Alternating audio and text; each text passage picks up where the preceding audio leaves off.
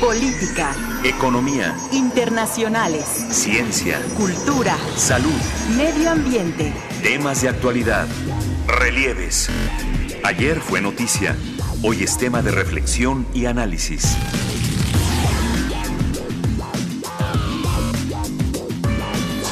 Relieves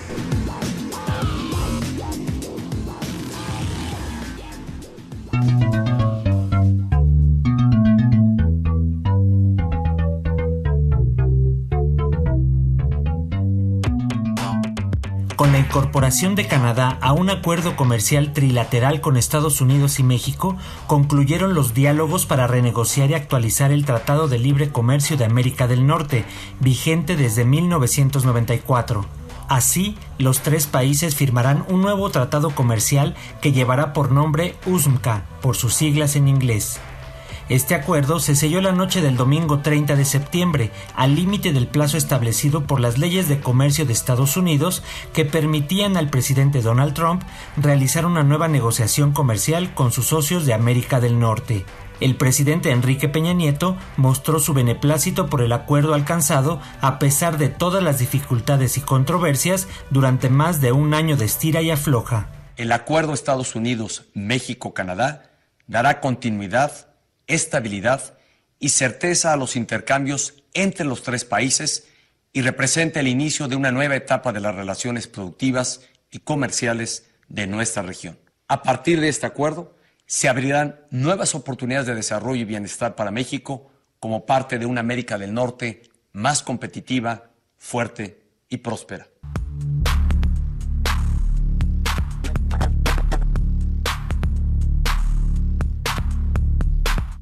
La tensión que prolongó el debate era de orden político. La balanza se inclinaba más hacia Estados Unidos, pues Donald Trump necesitaba lograr el acuerdo para conseguir la reelección, pues una de sus propuestas rumbo a las elecciones del 2016 era renegociar el acuerdo que llegó a describir como el peor tratado comercial de la historia. Por esta razón, el mandatario estadounidense Donald Trump se mostró complacido con dicho acuerdo. It's my great honor to announce that we have successfully completed negotiations. Es para mí un honor darles a conocer que hemos llegado a, a un acuerdo. On a brand new deal. Se trata de algo nuevo. To terminate and replace NAFTA. Para terminar y reemplazar al Tratado de Libre Comercio norteamericano, conocido en inglés como el NAFTA. And the NAFTA trade agreements with an incredible new U.S. Mexico-Canada Agreement. Con este nuevo acuerdo comercial entre Estados Unidos, México y Canadá. Called USMCA. It sort of just works. MCA. USMCA. And that'll be the name, I guess, that 99% of the time we'll be hearing USMCA. Has a good ring to it. I have long contended that NAFTA was perhaps the worst trade deal ever made. Siempre estuve contrario al acuerdo comercial norteamericano, el NAFTA, porque para nosotros fue un mal acuerdo.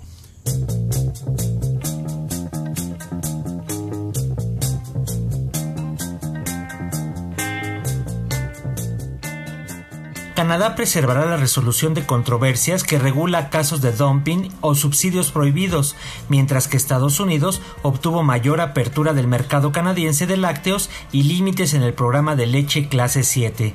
Finalmente, Canadá aceptó un cupo de 2.6 millones de vehículos exportados a Estados Unidos en el caso de que Trump imponga aranceles globales de 25% por motivos de seguridad nacional. Así se expresó el primer ministro canadiense Justin Trudeau. Este es un acuerdo que cuando se promulgue será bueno para los trabajadores canadienses, bueno para los negocios canadienses y bueno para las familias canadienses. Es un acuerdo que elimina la incertidumbre para nuestros fabricantes e inversores y mejora los derechos laborales para todos los norteamericanos.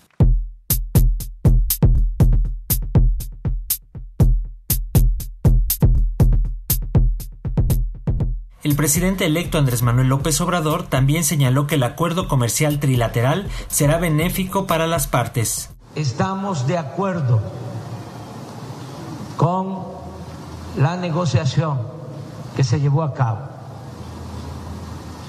Hemos estado muy pendientes, no hablamos mucho sobre este asunto porque se presentaron momentos de tensión delicados. Al final se aceptaron nuestras propuestas y debo de reconocer, insisto, que el presidente de Estados Unidos, Donald Trump, tuvo una actitud abierta, tolerante.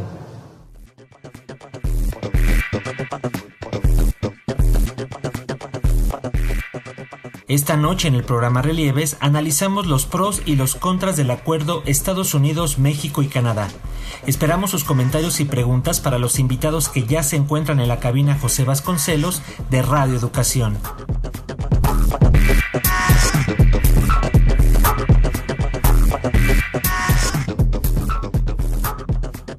¿Qué tal? ¿Cómo está usted? Muy buenas noches. Bienvenidos a una emisión más de su programa Relieves. En esta ocasión les saluda Lenny Ávila y les invito a quedarse aquí en la frecuencia de Radio Educación en el 1060 de su amplitud modulada. También ya sabe, si lo prefiere, puede escucharnos a través de nuestra dirección electrónica que es www.radioeducacion.edu.mx. Y ya escuchó, esta noche reflexionaremos en torno al reciente acuerdo comercial que lograron los representantes de México, Estados Unidos y Canadá. Sin embargo, hay que decir que aún falta que sea ratificado por los congresos de los tres países para que entre en vigor este tratado comercial trinacional. Y esta noche nos acompañan aquí en la mesa de análisis el maestro Abraham Vergara, él es catedrático de la Universidad Iberoamericana, coordinador de las licenciaturas en Finanzas y Contaduría. ¿Cómo está, Abraham? Muy buenas noches. Muy, bien, gracias, muy buenas noches. También está con nosotros el maestro Gustavo Uruchurtu, él es catedrático de la UNAM, pero también es consultor en comercio exterior y negociador del Tratado de Libre Comercio de América del Norte, de aquel de, ¿cuándo fueron las negociaciones? 1992 más o menos. 93. De ese primer NAFTA Telecan. Muchísimas gracias, maestro. No, muchas gracias por la invitación y por estar aquí con tu público. Y también le damos la bienvenida nuevamente con muchísimo gusto a la doctora Leticia Armenta. Ella es investigadora en economía del Instituto Tecnológico de Monterrey. Doctora, muy buenas noches. ¿Qué tal? Muy buenas noches. Le recordamos que tenemos una multilínea que es la 4155-1060 para que nos haga llegar sus comentarios y preguntas. También está nuestro perfil de Facebook, Relieves 1060 AM, para que nos haga llegar todos sus comentarios. Pues a ver, vamos a entrarle derechito al tema, eh, maestro eh, Uruchurtu. ¿Cuáles son los principales cambios de este nuevo acuerdo comercial? Sobre todo que usted conoce muy bien el Telecan, el NAFTA. ¿Qué tenemos ahora con el USMCA o TEMAC? Bueno, todavía no sabemos cómo va a quedar porque ya dijo el presidente electo que no le gusta el nombre, ¿verdad? Es que TEMAC. A mí tampoco. Sí, está medio raro. Me gustaba más AMEC, pero que dicen que no se puede por la Entonces, bueno, vamos a ver cómo queda al final del camino. Este, yo creo que hay, bueno, el primer cambio es el nombre. y yo creo que aquí hay que tomar en cuenta una cuestión. Hay un cambio de nombre porque para el presidente Trump es importante cambiarle nombre, porque así puede ir con sus votantes y decir, terminé con el horroroso tratado de libre comercio del Telecan, que no servía para nada, y ahora traigo uno nuevo, que va a satisfacer las necesidades y que es el más bondadoso, y como dicen, el mejor tratado de libre comercio que hay. Eso es lo que dicen, ¿no? Entonces, el nombre es importante. Yo creo que hay varias cosas este, relevantes y lo primero yo creo que es desde la perspectiva de, la cual se quiere ver si fue, si podemos hablar de que se ganó o se perdió algo. Yo creo que se ganó en el aspecto de que tenemos un acuerdo. Yo creo que eso es lo principal. Que se perdió, pues desde el momento en que tenemos un, tratado donde tuvimos que ceder cosas que ya habíamos ganado, pues entonces ya estamos hablando de que tuvimos una pérdida. Y la tuvimos nosotros y la tuvieron también los canadienses y sobre todo porque se impusieron se impusieron varias cosas. Se habla de que es un triunfo porque las las las principales posiciones de Estados Unidos, que era que se, se acabara automáticamente el tratado a los cinco años, este, además de la regla de origen, estaba una cuestión de la estacionalidad de los productos agropecuarios, un tratamiento específico para las empresas de Estado, este, para las investigaciones antidumping. La única que quedó al final del camino es la regla de origen, y de la regla de origen de la industria automotriz, principalmente están todas las demás que habrá que revisarlas con cuidado porque no sabemos cómo están todas, pero aquí la principal es la de la, de la regla de origen de la industria automotriz porque el, Bueno, pues al final de cuentas la industria siderúrgica era la que se buscaba proteger. Estados Unidos apretó muy fuerte en la apretó muy fuerte. En cuanto en cuanto se hubo un acuerdo con respecto a la regla de origen, empezó a fluir, a fluir las cosas, ¿sí?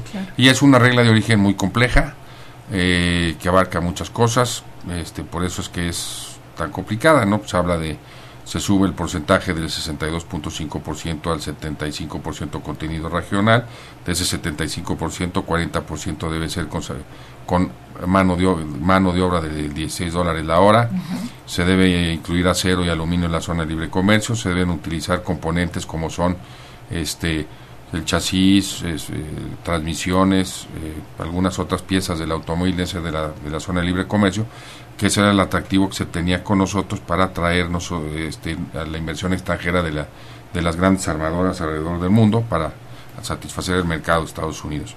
Luego, este, permanece el capítulo 19. El capítulo 19 nunca le ha gustado a Estados Unidos, pero eh, lo bueno es que permanece. Lo triste es que tiene ciertos problemas en su funcionamiento que no lo hace operar adecuadamente y que no se corrigieron, que esta era la oportunidad para corregirse. El capítulo de que era el capítulo 20 anterior, que ahora es el capítulo 31 de la solución de diferencias generales, este queda igual y se habla con bombo y platillo que quedó igual, nomás que ahí hay una pequeña particularidad que tiene el, ese capítulo. Ese capítulo dice que las listas de los árbitros deben ser consensadas por los tres países. Después del caso de transporte no ha habido consenso y el capítulo no ha operado. Y no lo corrigieron. Entonces seguiremos esperando con lo mismo. Eh, en, la parte de inversión eh, se restringe el, capítulo de, el de la solución de diferencias de inversión, que pues ese es un mecanismo que le da seguridad a los inversionistas extranjeros, entonces se restringe ya únicamente para la industria petrolera, petroquímica, para la industria este, eléctrica, para la infraestructura principalmente, porque son en donde les interesa invertir a los americanos en donde sí se vamos a invertir en esos países, pero por ejemplo para otros en la industria automotriz, en lo que sea, pues este, se limita se limita el poder acceder a ese mecanismo. Canadá se sale del capítulo de, solución de diferencias en materia de inversión, este no participa. Eh, la parte de la contratación pública, por ejemplo. Si me permite, vamos, vamos desglosando, porque si no, aquí nos lo vamos a echar todo el, todo el nuevo tratado y, no vamos a escuchar a nuestros otros invitados. Eh, doctora Leticia Armenta, el mismo negociador mexicano reconoció que este tratado comercial, este acuerdo por el momento, es más proteccionista que el propio NAFTA.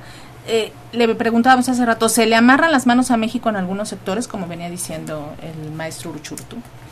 Bueno, como bien lo refirió, eh, desde el momento en el que se logra el acuerdo dentro del sector automotriz, todo lo demás comienza a fluir. Y eso nos habla precisamente de la importancia que tiene este sector.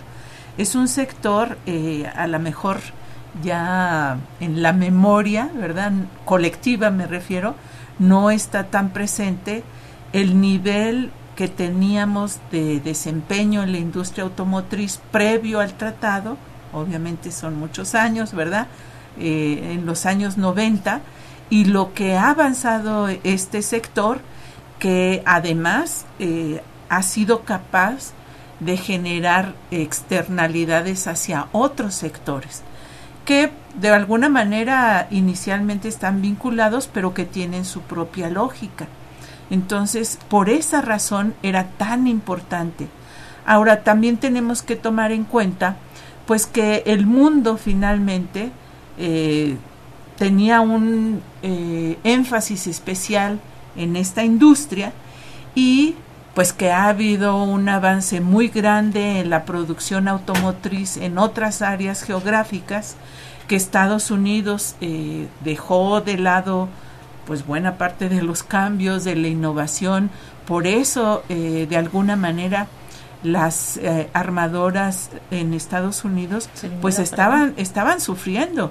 Es, eso es algo que también tenemos que poner en perspectiva, porque cuando viene la crisis del 2008, que ya cumplió justamente 10 años, pues estas armadoras fueron buena, eh, en buena medida quienes estaban en problemas en, en aquella situación.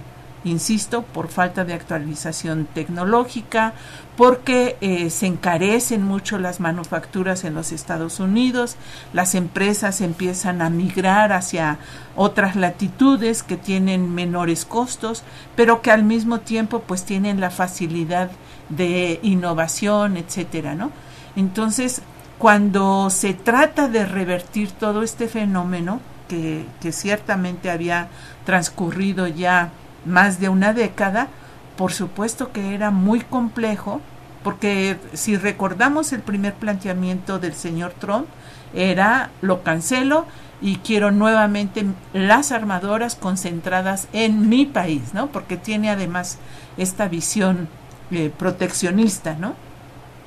Entonces, eh, yo sí eh, observo que el punto de negociación, no solo para México, también para Canadá, y lo vimos en las últimas semanas antes de que finalmente accedieran a la firma, bueno, sí a la firma, a la aceptación, eh, fue una negociación muy dura.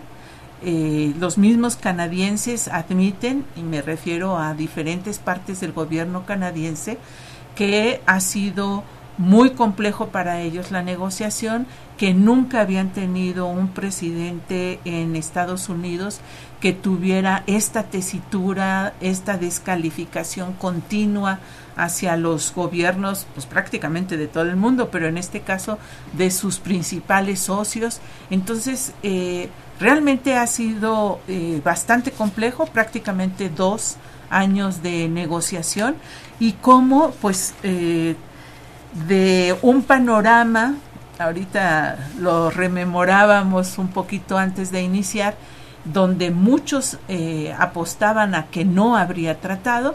Recordemos que se descalificó mucho al, gobierno mexicano porque eran optimistas ¿no? Eh, de, de, que el tratado iba a seguir. Yo creo que más bien ellos tenían la lectura pues de las cadenas de valor que se han generado, de los negocios que eh, no, no digo respaldan, sino son razón de ser de, del tratado. Muchos, muchos de estos surgieron a partir de... Ah, eh, ahorita que están hablando de Canadá y de todas las dificultades que tuvieron para negociar, Abraham, eh, ¿qué papel jugó México en la salida primero de Canadá del acuerdo trinacional, que pues por un momento fue binacional, y después, supuestamente, le llamó Trudeau a López Obrador y le dijo, ayúdame a que ya solucionemos este problema, en la salida y en la entrada de Canadá en el, acuerdo. debo de confesarme que yo era de las personas que pensaba que no iba a haber tratado de libre comercio, que se iba, que iba a desaparecer. Y creo que en parte no estuve tan equivocado, porque para mí no hay un tratado de libre comercio, para mí hay un acuerdo comercial entre tres países distintos en donde el centro, en este caso el centro es Estados Unidos, tiene eh, la mayoría de los beneficios en toda esta alianza comercial. También Estados Unidos, a final de cuentas, el presidente Trump no es eh, totalmente loco, por decirlo de alguna forma. no, está totalmente se, se, da cuenta que entre los tres países tenemos más o menos el 15% del comercio global, que tenemos el 28% del Producto Interno Bruto a nivel mundial y que además se cuenta con el 14% de los flujos de inversión extranjera. Entonces sabe también los beneficios y sabe que hay una eh, interdependencia entre los tres países.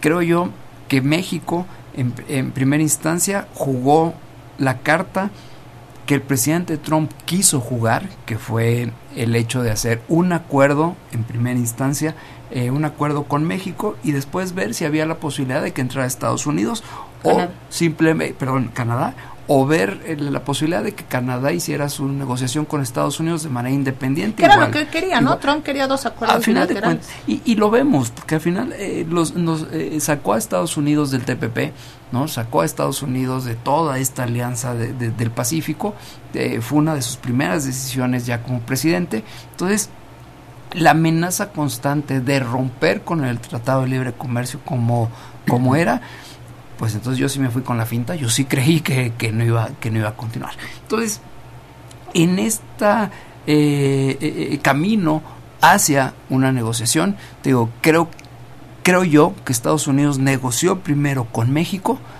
Una vez que terminó eh, de negociar con México, se voltearon con, con, Canadá. No me queda claro que Trudeau le haya hablado a López Obrador y le haya dicho, oye, ahora ayúdame a, entrar al Tratado de Libre Comercio. O sea, no Pero eso fue lo que dijeron los medios, pero ¿no? no, yo, yo no creo que haya sido así, de esa forma, ¿no? Y Canadá vio, vio también sus beneficios del acuerdo con, con, Estados Unidos. Eh, creo que podríamos entrar en tres grandes sectores el, el, beneficio que tiene Estados Unidos en este, eh, en este acuerdo comercial, que tiene que ver con medicamentos, productos de leche y, y, toda la empresa de automatización. En estos tres, entre otros, ¿no? Pero entre, en estos tres, el mayor beneficio lo tiene Estados Unidos hasta en la parte láctea con Canadá.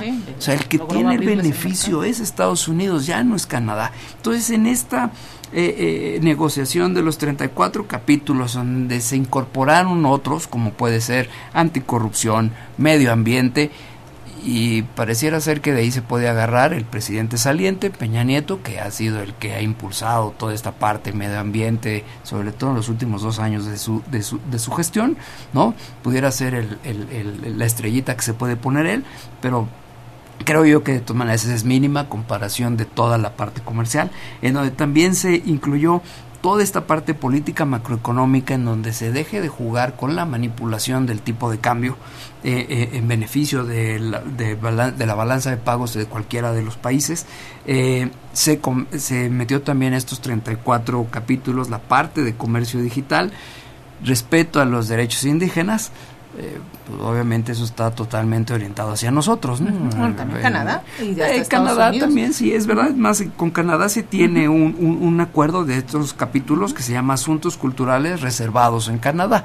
¿no? Entonces, creo yo que en toda esta negociación, sí el mayor eh, eh, beneficiado es Estados Unidos, ¿Cuál es el mayor beneficio para México? Que en este cambio gubernamental que tenemos a partir del 1 de diciembre le damos cierta certidumbre a los mercados, eh, le damos cierta estabilidad, porque de repente las declaraciones del presidente electo, sea de Tratado de Libre Comercio o de otro tipo de declaraciones, sí pueden llegar a desestabilizar a, nuestra, a nuestra economía. Entonces, el que haya habido un acuerdo, todavía no se firma, pero que ya por lo menos se hayan puesto déjame utilizar otra vez la palabra, en, eh, de acuerdo las tres principales partes, ahora hay que ver los congresos que dicen, eh, creo que es beneficioso también para México. Eh, maestro Uruchurtu, doctora Armenta, ¿cuál podría ser un beneficio? Se habla mucho de este asunto de la certidumbre en la economía, sin embargo, mismos especialistas decían que la puesta en marcha del, de este tratado comercial también es una incertidumbre, no se sabe cómo lo va a poner en marcha, por lo menos el gobierno mexicano. Entonces, ¿cómo lo ven? No, pero yo no creo que haya problema. O sea, porque al final de cuentas ya viene una inercia de los estos 24 años que llevamos con el TLC, precisamente, como lo dijo la doctora, y esa siempre fue mi postura también, la realidad iba a prevalecer, las cadenas de valor están muy integradas, entonces, eh, ¿qué, sucede? Hay que tomar en cuenta que el, tele, que el, que el, Telecan se estaba modernizando en el, en el TPP, esa era la modernización del TLC, entonces sale Estados Unidos de ahí. Entonces, muchos de los capítulos que se están incluyendo ahorita son los del TPP, son los mismos textos del TPP. Entonces realmente los, los puntos los puntos este complicados son muy pocos. ¿Sí? Son muy pocos que tampoco tienen mucha no van a requerir mucha implementación. Habrá que ver, por ejemplo, de la industria automotriz de la regla de origen, la industria automotriz dice que sí pueden con con la regla automotriz, que realmente no hay no va a haber mucho cambio. Por ejemplo, lo de los 16 dólares los 16 por hora los van a que, cubrir. no, va a tener, no van a tener problemas. Tienen puros ingenieros de alta tecnología. etcétera. Este, que mucha parte de la producción ya cumple con eso. Inclusive, por ejemplo, se habla también de que va a haber un cupo, porque viene una medida en contra de los automóviles también por seguridad nacional, y entonces va a haber un cupo de, me parece son 2.5, 2.7 millones de dólares. Sí, 2.6 son. 2.6 es lo máximo. De lo que se puede exportar a Estados Unidos sin arancel. Y todo lo demás va a estar sujeto al arancel. Falta que, salga, pero ahí viene. Si ya lo tienen, ya viene.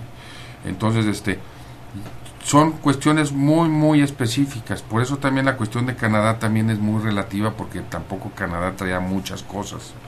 Entonces, yo creo que primero, yo creo que con quien más tenía cosas era con, con México. Bueno, el que le traía más ganas, ¿no? Sí, y había más cosas que, que arreglar, y ya que se arregló con México, entonces ya vino ya vino Canadá, porque yo creo que lo que se dice en los medios, de, que le habló Trudeau, le habló Trudeau. Sí, Pues también voy a irme un poquito más atrás. Trump iba a denunciar el tratado el año pasado y tenía ya la carta lista para firmarse para denunciarlo. Y entonces en la tarde habló y dijo, es que me habló mi amigo Peña Nieto y me pidió que no, que no lo denunciáramos. No, no fue Peña Nieto, fueron todos los senadores de los estados agrícolas que fueron a ver a Trump y le dijeron, cuidadito donde denuncies el tratado, porque vas a perder el apoyo de todos nosotros. Y eso lo frenó, pero ya estaba listo para denunciarlo. Entonces, este, en parte de la implementación yo creo que no, no va a haber mucho, eh, no va a ser algo así muy, muy este, complicado poderlo, poderlo hacer, ¿no? Entonces yo creo que desde ese punto de vista no habría que... Y, escenarios, por ejemplo, también decían, bueno, hay que ver cómo son las elecciones en Estados Unidos, pero que no se pudiera ratificar por las tres naciones. Esa es otra cosa. Hay que decir, si ganan los demócratas en, en, Estados Unidos, hay que cambios. Ver qué, hay que ver qué sucede. Este, Aquí ya prácticamente lo van a ratificar, ¿no? Pues ya trae la, pues ya trae se supone que dijeron que sí. Ya trae, ya trae, ya trae la bendición del Mesías, entonces sería sería un sacrilegio que los que los adoradores no lo no lo ratifiquen, ¿verdad? Pero Estados Unidos, Estados Unidos es la incertidumbre. Aunque tiene una salida, ¿eh? O sea, dice este nuevo acuerdo que son 16 años en los cuales se tiene que volver a renegociar, pero si alguno de los tres países con seis meses de anticipación eh, hace una declaración de quererse salir, lo puede hacer, ¿eh? O sea, está precisamente en la cláusula. Pero la primera revisión es a los seis años. Pero, Eso, no, pero eso no es nuevo. Eso, ya, eso ya, estaba desde el, tratado. Estoy, de, estoy de acuerdo con usted, pero al final de cuentas no teníamos un presidente en Estados Unidos como el que tenemos hoy. Inclusive me voy, y que no sale. Inclusive me voy más allá. No tendrían que esperarse a los 16 años. ¿eh? No, no, por eso. Por, eso le digo que, con un aviso de seis meses se pudiera salir cualquiera de los, tres, de los tres países. Nada más hay que recordar que el presidente Chávez de Venezuela se salió del G3. Pero, no, no más. Pero la economía no pero no, no, no, no, si yo no estoy diciendo que pase, lo que pasa es que eso de que tenemos que, esa situación de seis meses para denunciarlo es irrelevante eso, porque lo pueden denunciar en cualquier momento.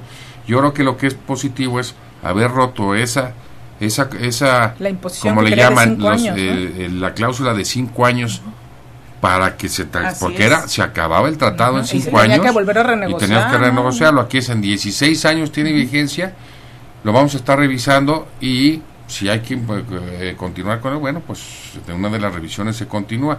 Pero además de aquí a 16 años a cómo van las cosas ya va a ser otra realidad que va a requerir ir modernizando, sí. No, van a entrar otros capítulos, ¿no? Estoy de acuerdo, pero sí se puede hacer esa denuncia dentro de esos 16 años. O sea, no tiene que haber una esperarse los 16 años. Y si eh, viéramos un escenario en donde el presidente Trump llegara a su reelección, bueno, vamos a pasar cuatro años otra vez en esa incertidumbre. No, no lo podemos saber, muchos creíamos que Trump no ganaba, ¿no? Que, que ganaba Clinton. Muchos deseábamos, ¿no? O muchos deseábamos que, que ganara Clinton. Entonces, sí creo yo que en este lapso de lo que le resta al gobierno de Trump y con una posible reelección, vamos a tener siempre esa posible incertidumbre.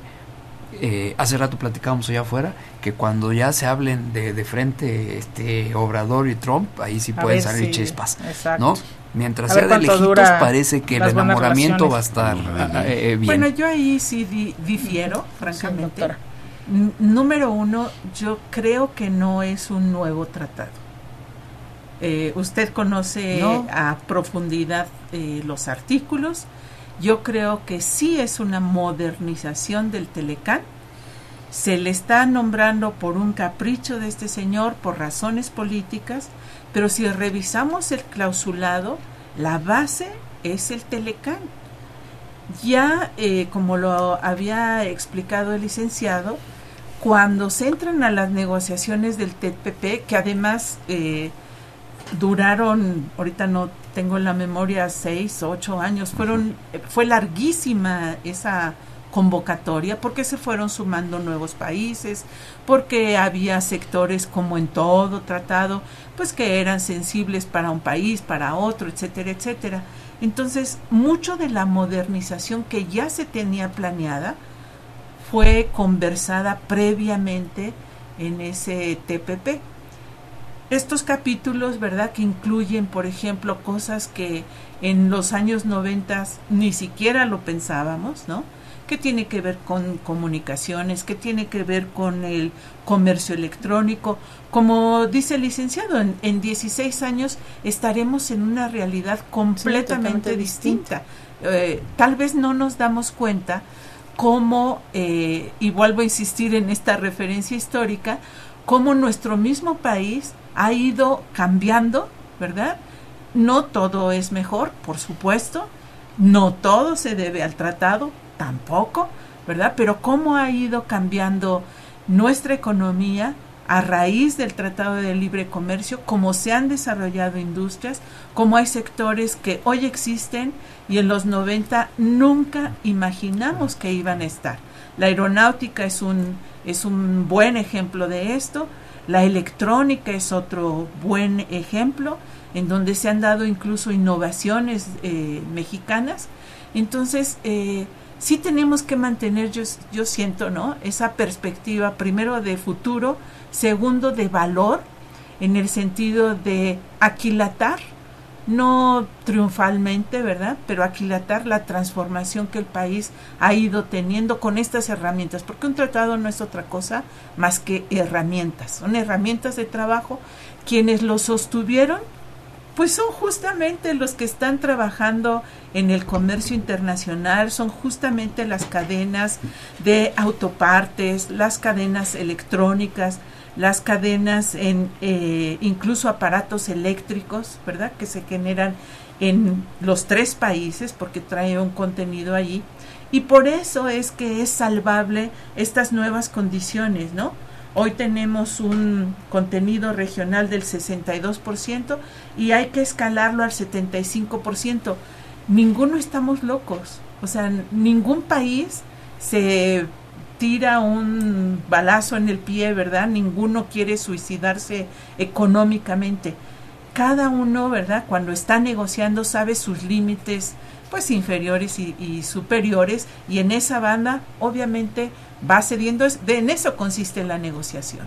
Le recordamos que estamos en el programa Relieves. Esta noche estamos reflexionando en torno al nuevo eh, tratado comercial entre Estados Unidos, México y Canadá el USMCA en, en, inglés, en español todavía no tenemos claro el nombre.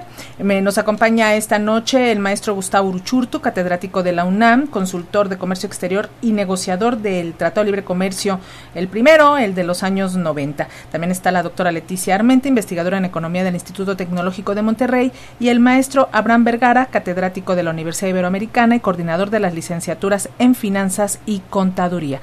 Lo invitamos a escuchar el siguiente trabajo que preparó nuestro compañero Francisco Muñoz y le recordamos nuestra multilínea 4155 1060.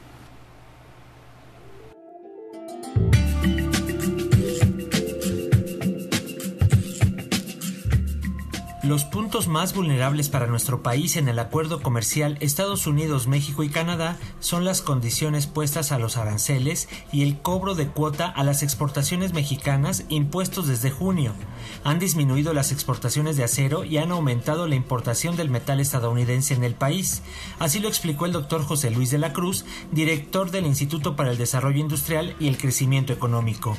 Yo creo que eh, lo primero y es ampliamente conocido es que durante este proceso de, renegociación eh, y aún previo al, acuerdo, pues de momento sanciones que se aplicaron a sectores como el del acero y el aluminio eh, se preservan, es decir, eh, a pesar de que hubo en principio un acuerdo, estos dos sectores mexicanos pues siguen sufriendo el efecto de, tener aranceles que surgieron por un proceso de negociación. Entonces yo creo que ese es el primer elemento que evidentemente muestra que hay afectaciones.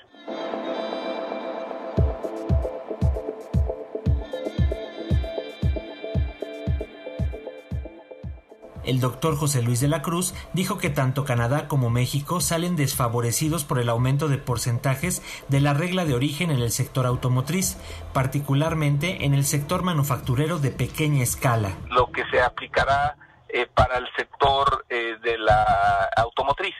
Eh, ahí pues las nuevas reglas de, eh, de origen y contenido regional pues lo que sí van a marcar me parece es un cambio en la eh, estrategia bajo la cual se van a, integrar estos procesos productivos. Ese yo creo que es el, el, eh, eh, el siguiente elemento.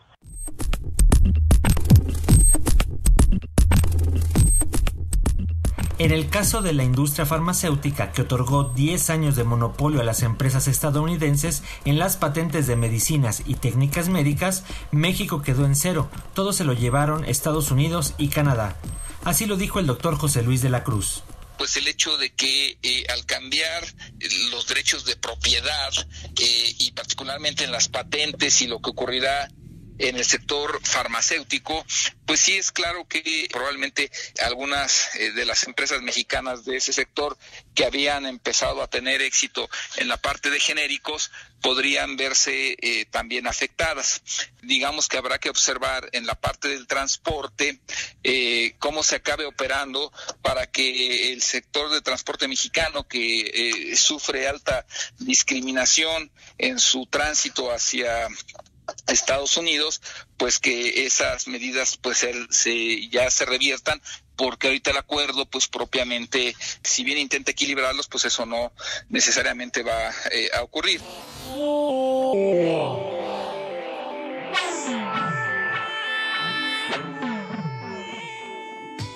Otro de los puntos en desventaja es el cultural, en específico el cinematográfico, agregó el doctor José Luis de la Cruz, director del Instituto para el Desarrollo Industrial y el Crecimiento Económico. Bueno, yo creo que sí hay un elemento ahí en donde México, a diferencia de Canadá, no resguardó necesariamente este sector, es decir, en Canadá se buscó eh, garantizar que desde la propiedad de algunos eh, de, los cines en, sus provincias y el preservar la parte cultural de, México propiamente ahí no se no se puso énfasis. Entonces sí eso quedó abierto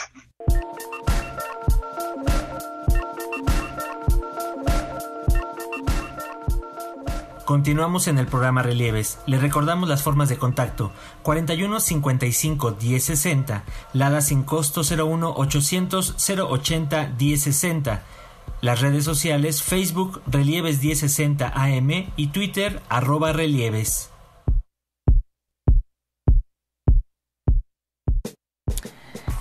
Y ya están empezando a llegar las llamadas de nuestro auditorio. Eh, el señor Gabriel Campos, él dice, en la firma del nuevo tratado nos dice también de lo, no dice lo que está pasando referente a las aguas embotelladas que traen las transnacionales. ¿Cómo pretenden aquí en unas contadas alcaldías reducir el suministro totalmente del agua para fomentar los mantos acuíferos de las transnacionales, ya que la ganancia de ellos es del mil por ciento? A ellos también les toca la ley seca. Bueno, en eso respecto, junto varios temas ahí al, mismo tiempo. Eh, el señor Manuel Munguía de Iztapalapa, el único que celebra después de un año el nulo acuerdo entre Estados Unidos, México y Canadá es Donald Trump, pues su compromiso político ante su nación para celebrar este acuerdo y ante los empresarios mexicanos que se ponen de rodillas para obtener mayores ganancias sin tener un plan para diversificar sus mercados, ni siquiera un proyecto para desarrollar su mercado interno con mejores empleos y salarios. Sin duda el nuevo Teumeca o Temec dañará a la agroindustria, al sector industrial y de servicios. Con sus propuestas no sé no que hace sino manifestar el proteccionismo del señor Trump. Es triste la actitud del señor Guajardo y también de Videgaray. Esperemos que nuestro Congreso no meta al mismo hoyo el pie en este tipo de acuerdo que tanto daño eh, ha hecho en los últimos años. Bueno, esto está tocando un punto importante que es el asunto de la diversificación de los mercados. Ah, bueno, Estamos bien amarrados de Estados Unidos. No, si tú me lo dices, lo peor que nos, o sea, lo peor que nos puede haber pasado es haber dejado pasar esa oportunidad de poder diversificar los mercados, porque seguimos pensando en que es la canasta, en esta canasta echar los huevos. Sí, cuando hay otros mercados, yo creo que ese ha sido este por parte de todos ver y, y por ejemplo, ahorita todo el mundo está preocupado por el Teumeca. Teumeca, como dices. o Temac. ¿Sí? Pero está pronto a entrar en vigor el CPTPP, ¿eh? Y nadie ha dicho nada del CPTPP y está por Y también trae unos puntos ahí pues complicados, los de medicamentos, ¿no? Sí. Pero para no, para no desviarnos más, ahí está una cuestión. Aquí cuando se habla de estas historias de que si es el perdedor, que si es el causante de todos los graves, ya lo dijo la doctora. Y además, el TLC no ha sido el causante de los problemas de México. Es un instrumento de política comercial adicional a todos los demás que puede haber y que puede tener un gobierno. A lo mejor lo que nos ha pasado es no haber hecho nuestra chamba cuando debimos haberla hecho. Tuvimos un periodo de transición para hacer las reformas que eran necesarias para poder competir. Hubo un periodo en que éramos el único país que teníamos acceso a un mercado abierto de Estados Unidos y hubo quien se puso las pilas y hubo otros que no se pusieron las pilas y llegaron los chinos y llegaron los de otros países y ahora tenemos que competir con otros. Entonces hay que hacer la tarea. No la divina providencia va a llegar y nos va a dar las cosas. Si no trabajamos, no tenemos los resultados. ¿sí? Entonces, estas son reglas y, y por más que digan que es un fracaso, al día de hoy es 1.5 billones de dólares diarios de comercio entre México y Estados Unidos. Diarios. Diarios, ¿sí? Y es un comercio que va y viene, va y viene. Entonces, cuando hablaba de que era necesaria una, era necesaria una modernización, sí, porque hace 24 años el comercio era diferente cuando hablábamos de reglas de origen pensábamos en, me van a mandar los americanos algo, lo voy a transformar aquí, se lo regreso. Pero al día de hoy es, me lo mandan, lo transformo, lo vuelvo a regresar, lo vuelvo a transformar, incorporar, lo vuelvo a regresar, lo vuelvo a incorporar y mando el producto final. Entonces, todo eso tiene que tener ya un cambio. Entonces, yo creo que aquí lo que debemos de tener es una política industrial que vaya enfocada a poder aprovecharse de todas estas reglas, de todos estos tratados que tenemos y poder ir desarrollando muchas otras cosas para poder tomar los beneficios del tratado. Por ejemplo, grave error lo que dice el, presidente electo de eliminar ProMéxico. ¿Sí? ¿Por ¿Cómo vamos a promover nuestras, nuestras exportaciones y, que vengan a invertir a México a, través de qué oficina? ¿Sí? Entonces, yo creo que, el tratado ha hecho, ha tenido una, una ha tenido cosas muy buenas. Por ejemplo, yo tengo, ya son qué, 28 años dando clases y precisamente siempre les decía yo que cuando íbamos a hacer aviones, cuando les hablaba de las economías de escala, ¿cómo vamos a hacer un avión? Si nos ponemos a hacer un avión tenemos que competir con la Boeing, con Airbus, con, inclusive con la Embraer de los brasileños. Nunca hubiéramos pensado que íbamos a tener una industria aeronáutica como la que tenemos hoy, que estamos a punto de empezar a hacer aviones. ¿Sí? Y que el objetivo es empezar a competir con Bombardier en Canadá y con Embraer en Brasil. ¿Sí? Entonces, eso ha traído muchas otras cosas. Cuando vemos nosotros el análisis del comercio de nuestro país, inclusive en toda Latinoamérica, somos el país más que exporta más productos industrializados que cualquier otro país de Latinoamérica. No tenemos el problema que tienen los países los demás países de Latinoamérica, que precisamente su comercio se ve restringido porque importan o exportan los mismos productos, van productos agrícolas, materias primas, etcétera, porque tiene una una plataforma y una y una producción de productos manufacturados importante es México. Y eso tiene que ver con el TLC. Pero ahora tenemos que buscar otros mercados. Exacto. Tenemos que tomar, que aprovechar precisamente todos esos tratados de libre comercio con los que, que nos saben los mercados de tantos países, son 45, 46 países, y aprovecharlos. Y aprovecharlos, porque eh, nada más para dar, porque somos temerosos. Yo siempre he dicho, los fenicios del siglo XXI no son, pero no son, los, no son los chinos, siguen siendo los americanos. ¿Por qué? Porque los americanos se van por todo el mundo a buscar inversión, pero ahí va. Pero a donde llegan, han llegado a ir con todo y su infraestructura, porque llegan a un hotel de cadena americana y a un restaurante que les va a vender su hamburguesa o su pollo Kentucky en cualquier lugar del mundo, y ahí van arrastrando y ahí lo van llevando. ¿Sí? Y van abriendo mercados, ya han estado por todos lados los chinos les van siguiendo lo, lo, que han estado haciendo los americanos. ¿sí? Entonces, nosotros estamos exportando, pero siempre hemos visto Estados Unidos como mercado seguro. Porque lo tenemos aquí al lado, pues es, nuestra área de confort. Super confort. Pero no empezamos a ver, o sea, hay, hay, hay quienes sí se han aventurado a, a otros mercados, pero yo creo que hay que buscar, tratar de aprovechar esos otros mercados. Por ejemplo, en ese sentido, doctor Armenta, eh, maestro Abraham, los empresarios manifestaban un poco de temor que con esta nueva mm, eh, renegociación del tratado comercial trilateral se les restringieran las oportunidades con China, por ejemplo, sí se lo expresaron. ¿Sí pasa eso? Bueno, ahí hay una eh, intento, ¿verdad?, de, de amarrar las manos y tiene que ver con una política cambiaria donde precisamente el destinatario es China, definitivamente. O sea, en el mundo eh, son pocos los países que pueden manipular su tipo de cambio. México no está en esa perspectiva, Canadá tampoco lo está, y cuando se incluye esa cláusula, en realidad la visión es hacia China. Que y no por puedes- el otro lado, ¿verdad? Perdón, la Eh, cláusula que dice que no puedes negociar con quien manipula el tipo de cambio o cómo No, no, dice? no, que eh, específicamente habla de que hay un comité vigilante de la política cambiaria y que si alguno de los socios se atreve a tener una manipulación en este mercado cambiario, entonces eh, pues tiene sanciones, ¿no? Hay- por eso hay un comité vigilante de que eso no ocurra. Pero vuelvo a insistir, eh, la política cambiaria difícilmente tiene un gobierno los recursos suficientes para poder controlar el tipo de cambio.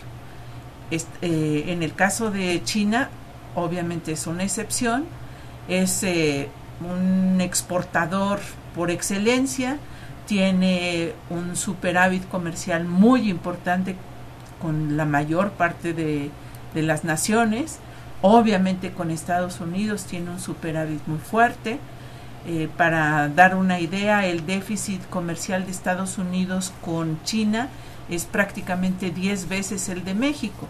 Entonces es, es una cantidad de dinero impresionante la que los chinos sí tienen la capacidad, ¿verdad?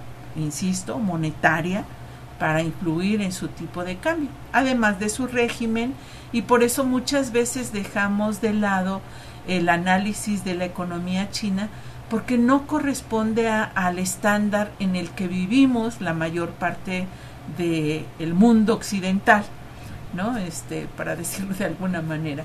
Entonces, eh, la cláusula es, es así, ¿no? Es vigilante. Sí se habla de que hay prohibición para establecer negociaciones con China, etcétera, etcétera, pero es parte de esta guerra comercial que tienen las dos grandes potencias. Eh, obviamente allí no habrá un ganador, tristemente ambos van a salir perdiendo. Mejor sería buscar un acuerdo, pero eso ya excede a, a nuestras latitudes, ¿no? Y yo veo más esa advertencia en esa tesitura, ¿no? De somos parte del mismo club y me estoy peleando con aquel, entonces no quisiera que tú intervengas, ¿no? En una cláusula de, esa, de ese estilo. Que, que no es al final de cuentas ellos dos. O sea, la semana pasada lo vimos, cómo se cayeron todos los mercados en esta idea de la guerra comercial que trae Donald Trump con, con, China. con- con China. O sea, se fueron todos los mercados de piques más, hasta le dijeron el miércoles sangriento. ¿no? La cláusula es, eh, eh, el artículo está en el artículo 32.10, no menciona China como tal, pero lo que dice eh, Estados Unidos es no se puede hacer eh, ningún acuerdo o tratado de libre comercio con ningún país que no tenga economía de mercado. Es decir, oferta y demanda. Mucho lo que estaba diciendo la, la doctora Leticia. Entonces, sin decir el nombre, lo dijo. ¿no? O sea, eh, no te habla explícitamente China, pero te está diciendo. O a Corea ver, del Norte, ¿no? O Corea del Norte. O Cuba. O Cuba. Pero ya Cuba ya se habló. O Venezuela. ¿no? Eh, pero es este, eh, a ver, México, Estados Unidos, México, Canadá, no pueden ir a negociar con ellos, ¿no? Con, con los chinos, países asiáticos, si yo no te doy como la venia o la autorización, como decían en mi abuelito, ¿no? La venia, ¿no? Entonces, eh, creo yo que sí nos amarra las manos, eh, sí en esa zona de, de- conformidad que tienen muchos de nuestros empresarios que se han ido a esta idea del 80% de nuestras exportaciones desde Estados Unidos y creo yo que estamos llegando muy tarde, sobre todo a- al mercado asiático, en donde eh, Costa Rica nos ha ganado. Nos ha ganado ese, ese mercado, no más con café, con, con muchos de los productos de materia prima, aunque nosotros seamos manufactureros y, y esta idea de, de- de que México es eficiente en manufactura, hábil en manufactura, bueno, si somos tan hábiles, ¿por qué no podemos lograr tener una demanda interna que genere un crecimiento económico en el país más allá de este mediocre 2%, de este Bueno, porque son dos 2.3%? cosas diferentes. O Yo- sea, yo no- yo no lo veo tan- Haber tan- evolucionado tan en la distinto. manufactura y tener eh, un mercado doméstico amplio Son dos cosas distintas. Lo, que pasa es que ahí sí le voy con la idea que, decía eh, el maestro en el tema de la política industrial. Y creo que ahí es donde, donde se compaginan. Si no tenemos esa política industrial, no vamos a poder tener ese incremento en la demanda. Yo estaría de acuerdo en la demanda interna. Yo tampoco estoy de acuerdo la cuestión de la demanda interna. Y para muestra un botón, lo que pasa con Chile.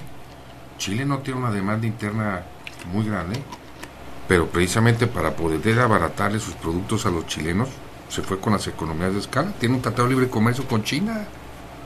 Nos ha ganado el mercado. Ellos no han tenido miedo de incursionar, porque y además son muy son un país altamente exportador porque saben que esa es la única manera de poder bajar los precios internamente. Aumentan el mercado hacia afuera. Entonces, por ese lado.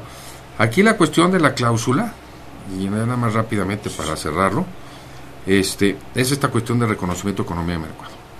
Y como mencionaba, es una cuestión técnica que tiene que ver con los casos antidumping, porque es muy fácil iniciar casos de dumping contra, contra China por, esa, por, esa, por ese tratamiento, porque en la OMC, el acuerdo de la OMC de dumping dice cuando una economía centralmente, centralmente planificada, no se pueden utilizar los precios internos y tengo que utilizar un precio de un país sustituto. Entonces eso va a dar generalmente márgenes de dumping más altos. Aquí la cuestión es quién va a calificar que no es que, que, los países centralmente planificados son centralmente planificados y aquí hay que tener cuidado porque por ejemplo Chile tiene un tiene un tratado de libre comercio con, con, China Brasil aparentemente andaba ya reconociendo a China como una economía de mercado, algunos otros países le han dado ese reconocimiento.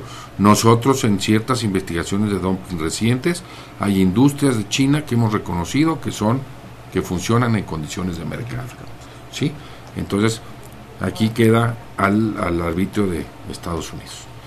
Y sí me gustaría moverlo, si puedo, a los temas nuevos. A ver, vamos a meterlo rápido. Y por ejemplo, yo creo que es muy importante todo esto que va relacionado con la transparencia, contratación pública y el, y el capítulo anticorrupción. En cuanto a la contratación pública, por ejemplo, Canadá se fue con Estados Unidos al acuerdo que hay en la OMC y este capítulo de contratación pública va con México. Pero aquí es muy importante porque en la contratación pública tenemos un alto índice de corrupción. Está el estudio del IMECO, del IMCO, perdón, este, de este año, que casi el 80-90%, de, pues el 80-90% de las licitaciones no son licitaciones, son de asignación directa. Y cómo cambian en sexenio los proveedores, ¿sí? Entonces aquí viene toda esta parte de la contratación pública y luego el capítulo anticorrupción que entonces los tratados de libre comercio pueden convertirse en un instrumento para combatir la corrupción. ¿Por qué? Porque no se van a meter, incluso hay la obligación de establecer delitos nuevos, perseguir ciertas conductas, pero yo creo que aquí lo que es importante es, si en un momento dado hay un procedimiento, o sea, cuando hablamos de, de cuestiones de corrupción en esta, en esta materia, lo que tenemos que ver es todo lo que afecta al comercio y, principalmente va a tener que ser lo que tiene que ver con las licitaciones. Entonces, si hay una licitación donde hay corruptelas, etcétera, bueno, no vamos a poder hacer nada, pero un agente extranjero que participó va a poder ir con, su gobierno y va a poder invocar el mecanismo de solución de diferencias. Y entonces va a buscar que se cumpla con esa disposición. Y si no, operan con una compensación. Y esas compensaciones son muy altas que tiene que pagar el gobierno mexicano. Nomás para darles una idea, en el 98 por ahí hubo un caso de inversión de fructosa donde tuvimos que, pues, nos condenaron a pagar alrededor de 500 millones de dólares a los de indemnización a los exportadores americanos. Entonces, estas son disciplinas nuevas, disciplinas, aquí yo, yo doy la clase de integración económica, entonces estos son los tratados de nueva generación, porque empiezan a incorporar ya otros temas adicionales. Esta es la parte novedosa. Cuando vemos el TLC, que era novedoso porque tenía otros temas, pues ahora estamos ampliando ese, ese, ese espectro de temas que se están incorporando y que son y que, y que, y que están en un tratado comercial como el de los indígenas también pues viene a ser una cuestión también sí, que en el de, novedosa en el primero no, pues sé, por eso el movimiento zapatista no, se no se tocó. Eh, eh, me mencionabas otro tema también rápidamente para abordar lo que a ti te preocupa este Abraham. A, a, mí me preocupa el tema de, de nuestros usos y costumbres en los temas sindicales. Eh, sin ser yo un experto en, derecho laboral, ¿no? Eh, eh, creo que el romper con nuestras tradiciones sindicales va a ser complicado, aunque es verdad que en la Constitución mexicana desde el 2015 se supone que la elección tiene que ser a voto cerrado, personal, secreto, ¿no? no se ha logrado. Y entonces eh, en esta negociación del acuerdo se comenta que para que haya una implementación del acuerdo se deben lograr toda esta parte de eh, libertad sindical, derechos a la negociación colectiva y sobre todo prohibir una interferencia patronal. Eh, se oye como muy, si quieres, esotérico, pero nosotros no hemos logrado eso e-, en, nuestros sindicatos. Yo no veo al sindicato de Pemex haciendo esto, no veo al sindicato de, de maestros. de maestros, de la maestra del Bester, haciendo esto, entre otros. Entonces, creo yo que hay como seis puntos que tienen que ver con este tema. Eh, y dentro de los temas nuevos que yo eh, rescataría, así como rescató el maestro, sería el tema del sistema financiero. Hoy en día eh, sabemos que las tecnologías en el sistema financiero, todo lo que se llama fintech, todo este tema de activos virtuales, eh, los mecanismos de transferencia han cambiado. No es lo mismo en 1994 que, que se hizo a, a, la actualidad. Entonces, creo yo que también tendríamos que rascarle un poquito más al tema del sistema financiero para ver los cambios con todos estos mecanismos de blockchain, fintech, eh, cybersecurity. Todo esto también es un cambio muy novedoso en este acuerdo comercial. Si me permiten, están llegando ya más llamadas. Emilio Álvarez dice, ¿aún se puede decir que no en este tratado o ya se dijo que sí? Ya que en el Congreso mexicano no se ha aprobado aún, con el antecedente en tratado sabemos que no nos va a ir bien. Franco Gutiérrez, es preocupante la ignorancia con que se firman los tratados económicos, ya que el actual TLC trajo consigo desigualdad, encarecimiento y violencia. Y por la satisfacción que muestra Trump en el nuevo tratado se vaticina el panorama aún peor para México. La falta de participación, conocimiento y estructuración de la sociedad es una cultura económica nos esclaviza a intereses transnacionales. También eh, nos está llamando Ramiro Robles, él es de NESA, dice Estados Unidos ha declarado en todo el mundo tener intereses, pero no amigos. Por otra parte, antes de la presidencia de Salinas, cuando se firmó el TLC, no estábamos peor, estábamos mejor. Entonces, por lo tanto, sin tratado con tratado, los ricos más ricos y los pobres más pobres están actualmente. Y José Silva, él nos habla desde Ecatepec, dice, ¿cómo vamos a competir con Estados Unidos si la mayor parte de las son transnacionales? Por ejemplo, Alemania, Francia y los propios Estados Unidos. Por otra parte, Peña Nieto deja una deuda de 11 billones de pesos con el FMI y regala el crudo para que nos manden la gasolina a módicos 20 pesos. ¿Algún comentario final, maestra Armenta? Bueno, definitivamente si algo le duele a este país es la pobreza. Y la pobreza junto con la desigualdad yo creo que son un lastre. Sin embargo, a mí me parece que no es el Telecan el que provocó ninguno de los dos fenómenos. Eh, no supimos aprovechar, como ya lo mencionó el, maestro, eh, no supimos aprovechar una plataforma, porque así es como debemos de leer al Tratado de Libre Comercio, no generamos esos impactos positivos al integrar nuevas cadenas tan solo para la proveeduría. Somos tan, eh, tan ciegos, perdón que ya le suba un poco el tomo, pero eh, en una actividad tan noble como es el turismo, tenemos una balanza deficitaria. ¿Cómo es eso? O sea, ¿cómo es posible que no seamos capaces de producir el jabón, el champú, la crema que estas grandes cadenas hoteleras eh, requieren? Bueno, allí hay una oportunidad de mercado y a mí me parece que ese es el, eh, la visión que debemos tener.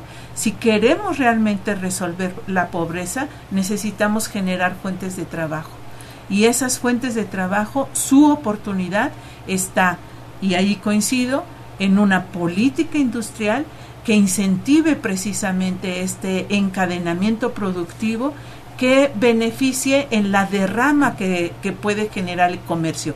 Con Estados Unidos Muchos países en el planeta quisieran tener la posición geográfica de México. Aprovechémosla. Sí hay oportunidad de diversificación en nichos muy específicos con otras naciones. El TPP yo creo que nos va a llevar hacia ese rumbo, nos va a obligar, pero eh, pues tampoco satanizar, ¿no? es más bien cómo lo usamos. Si a mí me dan una pluma, esa pluma puede servir para escribir grandes ideas o torpezas, ¿verdad? Pues les agradecemos muchísimo su presencia esta noche, maestra eh, Leticia Armenta, investigadora del Instituto Tecnológico Monterrey, al maestro Abraham Vergara de la Universidad Iberoamericana y al maestro Gustavo Uruchurtu de la Universidad Nacional Autónoma de México. Muchas gracias ya. Me muchas gracias. Hasta luego. Buenas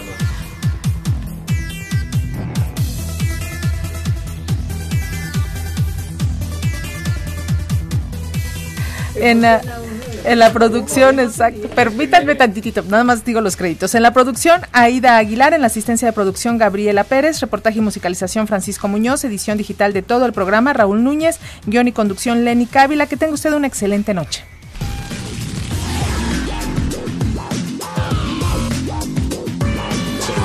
Relieves